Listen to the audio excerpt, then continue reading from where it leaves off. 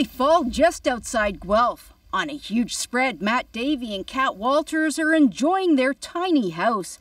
Just how tiny? Try nine steps up to the master loft sleeping area.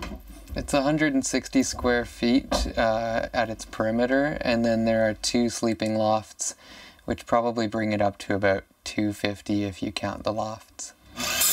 It's been a labor of love for the couple. They were inspired by what they'd seen online and traveling.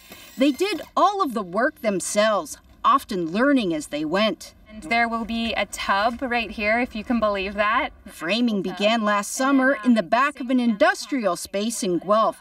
They bought a new trailer as a base for their tiny house, but most of the materials used were repurposed, adding time and effort to the build.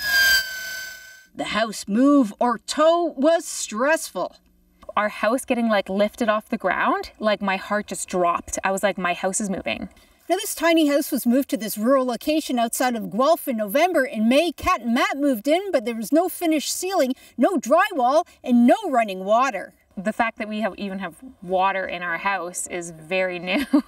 Storage space here is at a premium. In the kitchen, even the ceiling is used. The stairs are hinged, revealing spices. The sitting area doubles as a bed and triples as a storage area for their solar powered battery system. The bathroom is big enough for a tub, a horse trough. And it's only a, a few inches smaller than a standard sized tub.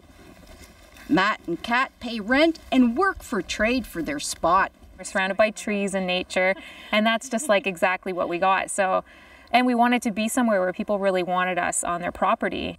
Debbie Lytle Kwan, CBC News, Eramosa.